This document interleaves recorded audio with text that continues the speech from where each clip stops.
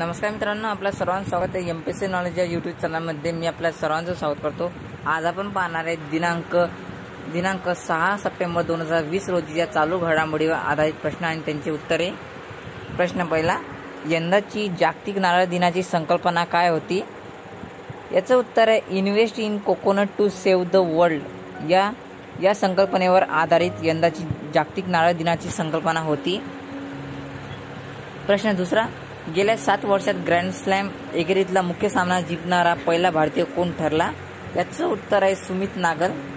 गेल्या सात वर्षात ग्रँड स्लॅम एकेरीतला मुख्य सामना जिंकणारे सुमित नागल हे पहिले भारतीय व्यक्ती ठरले. प्रश्न पुढचा तिसरा. ग्लोबल इनोव्हेशन इंडेक्स दोन हजार वीसच्या क्रमवारीत भारताचा कितवा क्रमांक आहे?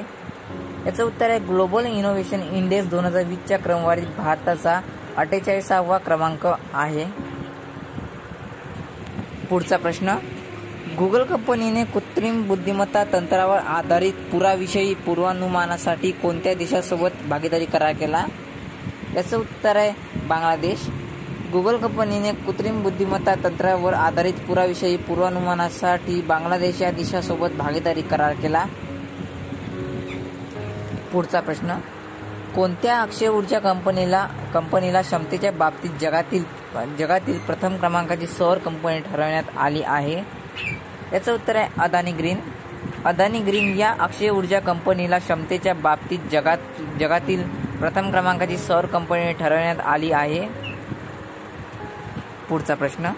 एक राष्ट्र एक शिधा पत्रिका योजनेत सामील झाला असून तो योजनेत समाविष्ट होणारे कोणते राज्य वा केंद्रशासित प्रदेश सव्वीसावा ठरले आहे?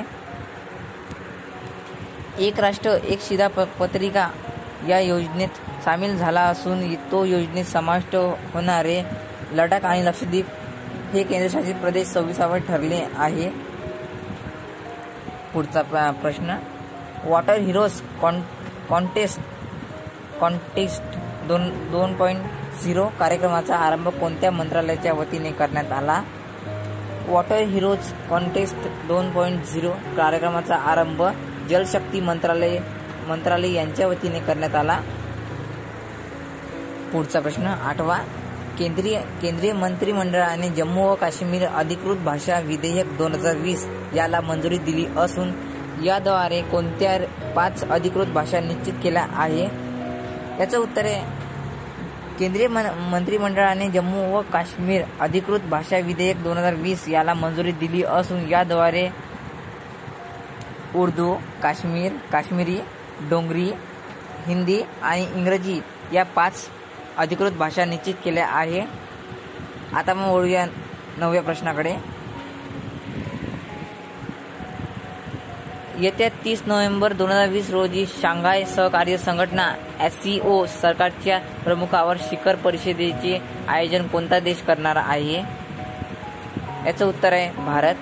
तीस नोव्हेंबर दोन हजार वीस रोजी शांघाय सहकार्य संघटना एस सी ओ सरकारच्या सरकारच्या प्रमुखांच्या शिखर परिषदेचे आयोजन भारत हा देश करणार आहे.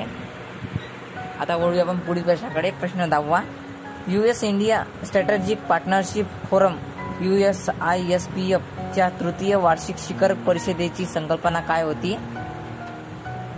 याचं उत्तर U S India strategic partnership फोरमच्या च्या तृतीय वार्षिक शिखर परिषदेची संकल्पना U S India navigating new challenges ही संकल्पना होती.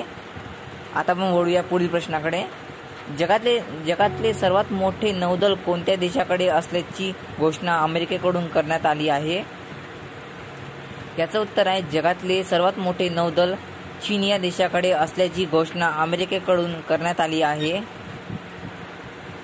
प्रश्न तेरावा.